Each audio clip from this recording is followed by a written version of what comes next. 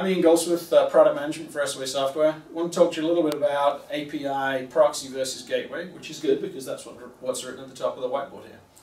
So we're going to start with the basic premise. You're a business and you want to be able to communicate with your consumers, your customers, um, or new customers you haven't developed yet. Customers that are using a range of devices, from a house, through a car, through a TV, a tablet, a phone, beautifully drawn phone I might add, um, or a computer. Um, so what you want to be able to do to be able to integrate with those guys is to expose an API.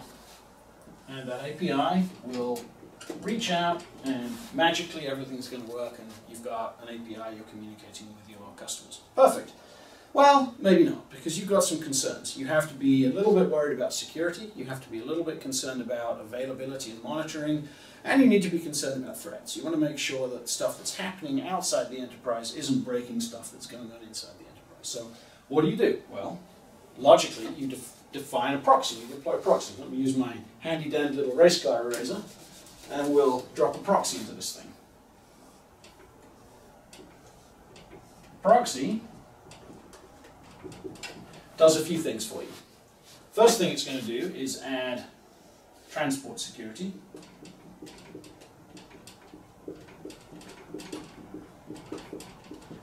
Then you're going to use it to make sure the things, your API is available and reliable, to add some monitoring for things like SLAs and performance. You probably also need to provision access to your API from the outside world, and transport security will help you with that. But you'll be doing that in order to control quotas you want to be able to offer different users different parts of your API, different access levels, gold, silver, bronze, services, all that kind of stuff. A lot of the reason you apply quotas is to make sure that you're protecting yourself against threats and against load. So that's a proxy, nice and simple. What you've basically done is taken your API, exposed it to your consumers, but what you have to realize is that the proxy only works if you already have an API you have to be exposing an API from your business in order to use a proxy. The proxy doesn't create anything new, it just re-exposes the same thing, adding a few non-functional requirements. So that's not really the reality for most businesses. In, in reality, most businesses look a bit different than that. You have existing services inside the enterprise, exposed by one or more applications. In this case, we'll keep things nice and simple and show two business applications we're going to stick to using the word apps, even though it's a little bit confusing. That's fine. So we've got some applications inside your business. Also, in a modern world, in most businesses, most large enterprises, you're not really just one business. You're lots and lots of businesses, distributed geographically, spread around all over the world, doing your own thing in your own data center, quite probably using different applications. You've grown through acquisition, you've got all sorts of stuff going on. So these services that already exist, we'll label them, services, that already exist inside the enterprise, you need to find a way of exposing those and creating them as an API.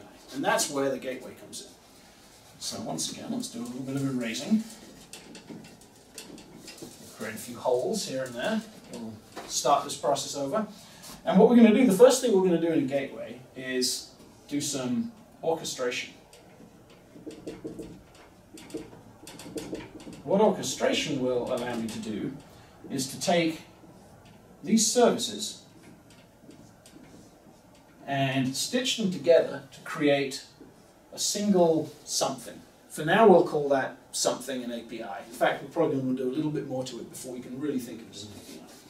So what else do we need to do? Well, we're going to need some mediation. Mediation is the way that I'm going to take my existing services from whatever format and mechanism they're delivered and expose them as something a bit more modern usable. So these things are quite likely things like SOAP. Uh, maybe there's some JMS, plain old XML. Maybe if you're really lucky, you've got some modern applications that are doing um, REST JSON.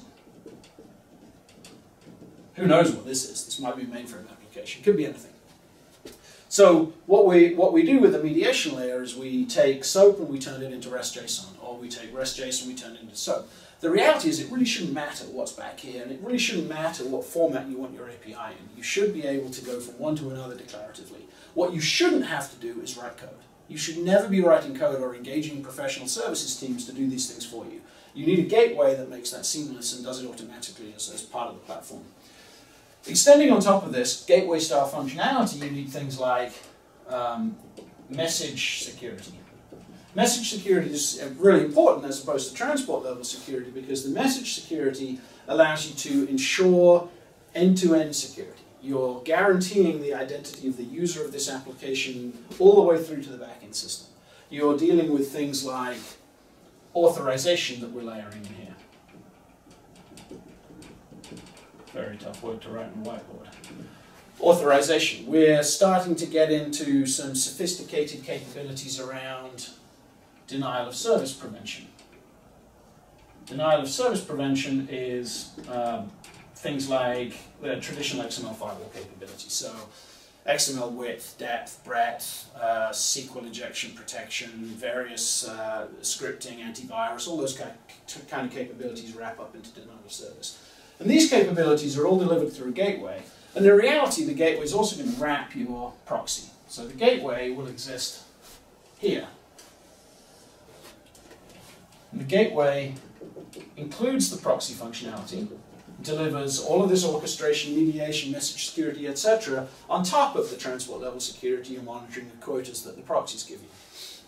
And it's allowing you to create single APIs from multiple backend systems and do all that sort of stuff.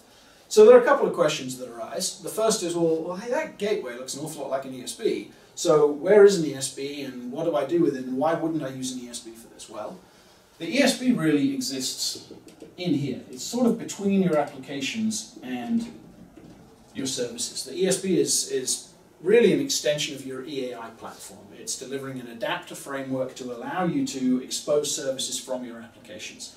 Does the ESB contain orchestration? Yeah, probably. Some of them do. Does it contain mediation? Yeah, probably. Message security?